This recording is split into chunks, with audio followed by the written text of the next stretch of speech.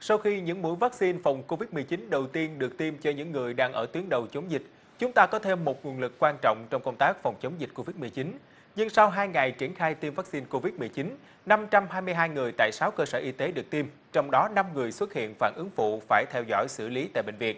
Các trường hợp có phản ứng sau tiêm nằm trong tỷ lệ cho phép. Do vaccine phòng COVID-19 là vaccine mới, nên đội ngũ tiêm vaccine đã thực hiện các quy trình đảm bảo tuyệt đối trong hướng dẫn của cơ quan y tế. Riêng khoa nhiễm D của bệnh viện nhiệt đới thành phố Hồ Chí Minh có 21 y bác sĩ được tiêm vaccine đợt 1. Đây là một nơi đã điều trị các bệnh nhân COVID-19 của thành phố Hồ Chí Minh, như bệnh nhân Việt Kiều 73 tuổi hay bệnh nhân số 91 đều là các ca bệnh rất nặng. Suốt một năm qua thì à, phải nói là làm à, trong một cái à, áp lực cũng rất là lớn bởi vì à, cái à, mức độ lây nhiễm và tỷ lệ tử vong của Covid-19 trên thế giới cũng rất là phức tạp. Quen những cái thao những cái uh,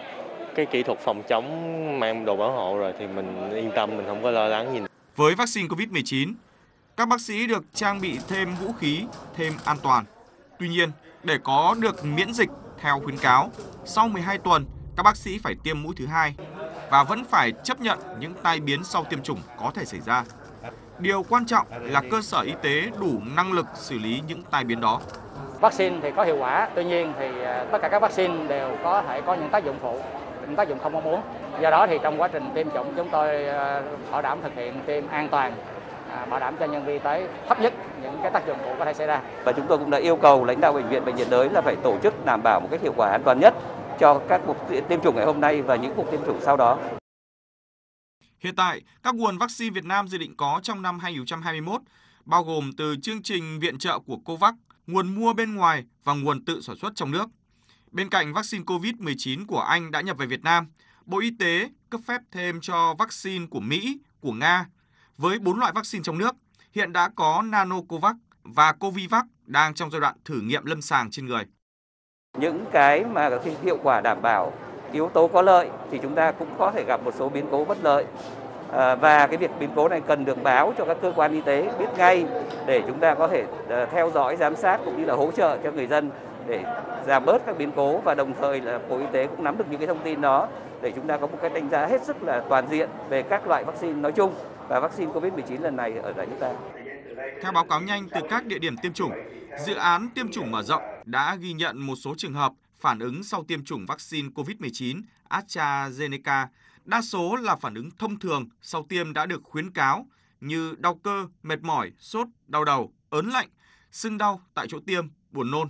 Có 5 trường hợp được theo dõi xử lý tại bệnh viện, trong đó có 2 trường hợp phản vệ độ 2 đã được xử lý, sức khỏe đã trở lại bình thường, 3 trường hợp tiêu chảy, dị ứng, kẹt huyết áp, sức khỏe của tất cả các trường hợp trên hiện đã ổn định.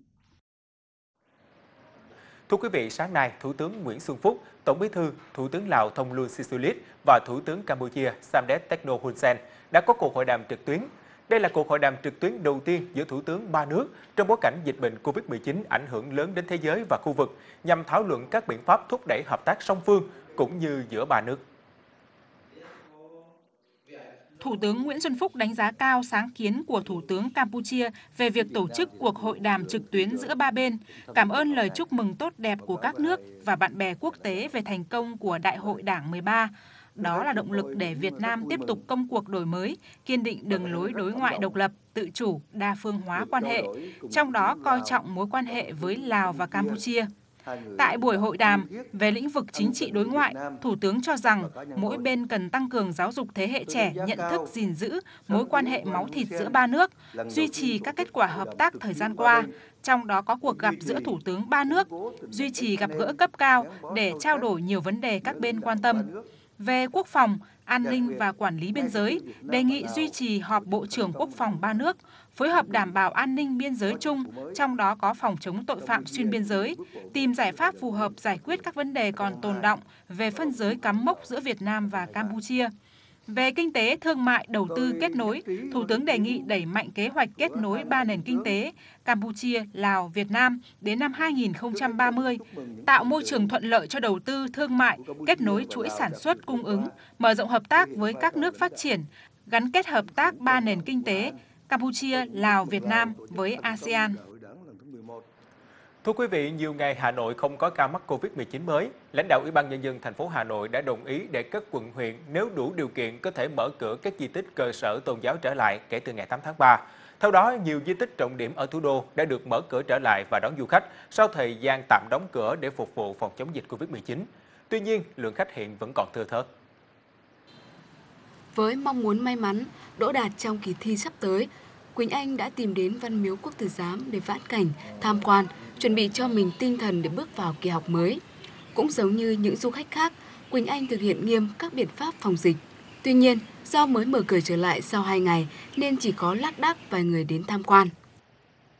Những năm thì chỗ này rất là thường rất là đông và học sinh thì có các sinh viên, các anh chị cũng tới đây tấp nập để xin chữ cũng như cầu may. Còn năm nay là do là giãn cách xã hội nên là hôm qua bắt đầu thông báo được mở cửa lại nên em cũng thấy có không khí khác lạ trong cái chùa là cũng thấy bị vắng với cả thoải mái hơn so với năm trước ạ. Ông Châu là người viết thư pháp ở Văn Miếu đã 20 năm. Năm nay, ông phải nghỉ việc tặng chữ cho du khách vì Văn Miếu phải tạm đóng cửa vì dịch Covid-19. Sau khi biết các di tích đền chùa hoạt động trở lại, ông hết sức vui mừng sau thời gian dài không được làm việc. Nhưng mà từ hôm mở ra thì bắt đầu là anh em cái, cái, cái truyền thống văn hóa của mình nó lại khơi dậy. Anh em bà con người ta lại vẫn thích chữ, người ta lại đến người ta xin chữ và để động viên tinh thần và phấn chấn làm ăn, học hành, tiến bộ công tác sản xuất kinh doanh nhân vân để động viên trong cuộc sống của người ta. Nói chung bà con người ta đều thực hiện cái, cái, cái quy định của y tế, thực hiện đúng 5K đấy. Để đảm bảo công tác phòng dịch ngay tại cổng di tích, du khách được cán bộ nhân viên kiểm tra thân nhiệt, yêu cầu sử dụng dung dịch sát khuẩn, đeo khẩu trang và thực hiện giãn cách trong suốt quá trình tham quan. Thì ờ, trước khi mở cửa thì chúng tôi đã tiến hành phun khử khuẩn tất cả toàn bộ uh, di tích và đặc biệt là những chỗ mà uh, đông du khách hay vào, ví dụ như nơi thờ tự hoặc là chỗ bán vé. À, ngoài ra thì chúng tôi chuẩn bị tất cả các phương tiện để phòng chống uh, dịch bệnh theo cái khuyến cáo cũng như là yêu cầu của Bộ Y tế và của cấp trên của Sở uh, Văn hóa và Thể thao Hà Nội.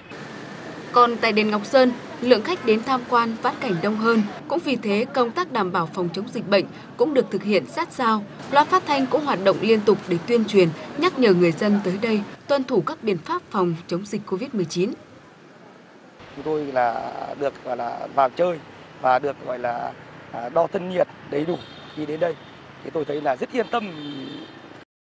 theo thông báo của Ủy ban Nhân dân huyện Mỹ Đức, khu di tích Chùa Hương sẽ mở cửa trở lại vào ngày 13 tháng 3. Việc phòng chống dịch bệnh COVID-19 sẽ khó khăn hơn so với di tích đền chùa có diện tích quy mô nhỏ trên địa bàn thành phố Hà Nội.